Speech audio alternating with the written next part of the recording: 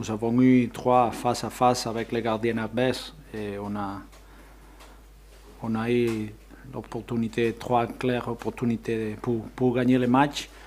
Mais euh, je suis content parce que nous avons été costauds. Et ce que je peux demander à mes joueurs, c'est que c'est de tout donner et c'est ce qu'ils font. Les dernières minutes du match ont été difficiles Oui, c'est normal parce qu'ils jouent très, ils jouent très long avec. euh, ils ont beaucoup de joueurs euh, très physiques, euh, très hauts, non? Très grand. Très grands.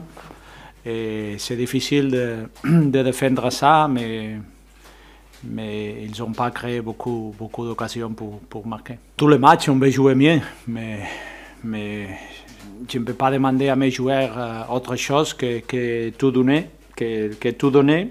Je ne peux pas leur demander des, choses qu'ils ne peuvent pas faire. Euh, J'aurais préféré gagner, mais, le derby, c'est un match très, très spécial.